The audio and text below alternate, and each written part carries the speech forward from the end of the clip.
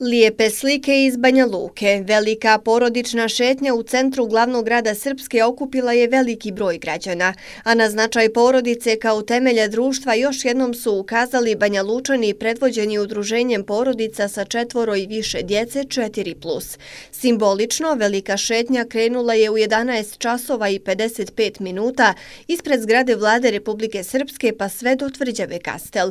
Roditelji kažu zdrave porodične vrijednosti neophodno je promovisati svakim danom, ne samo tokom dječije nedelje.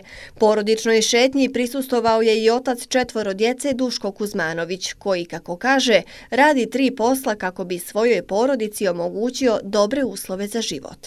Što god stvorimo bolje uslove za našu djecu, samim tim će i oni biti kvalitetniji, bit će im ljepši život ovdje. Svjesni smo mnogih odlazaka mladih odavde, a upravo sa tom E, kreativnijom slikom našeg društva, odnosno ne samo slikom, nego zaista realnim stanjem našeg društva koje bi bilo bolje, bit će nam bolje svima, bit ćemo okruženiji našom djecom koje će da žive uz nas, samim tim je i nama smisao života ljepši i bolji. Suština je da se, da se podrži porodica, e, da, se, da ostanemo na tom putu e, tradicionalnih vrijednosti. Porodica je život, djeca su život i to je suština i mislim da to treba da se promoviše. Roditelji kažu institucije u Srpskoj pružaju podršku kako višečlanim, tako i porodicama sa jednim djetetom.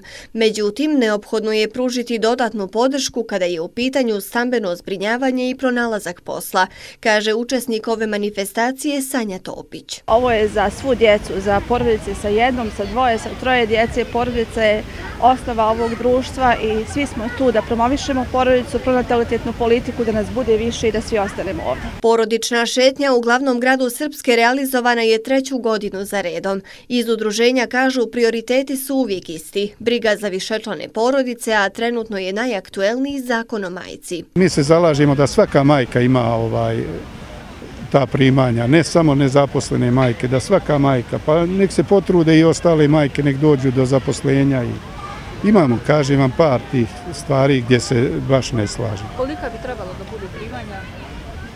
Pa primanja bi trebalo da budu minimum 300 maraka po djetetu. Minimum.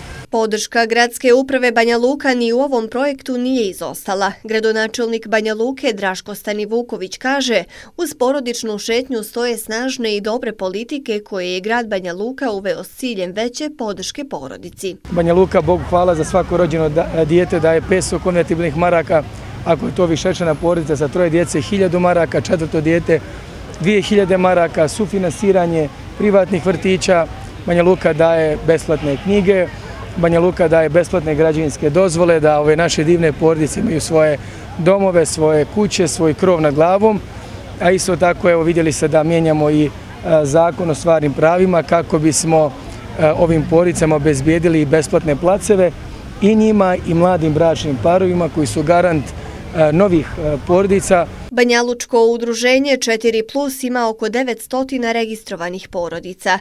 Kažu, nadaju se da će se trend održavanja ovakvih manifestacija nastaviti i u budućnosti.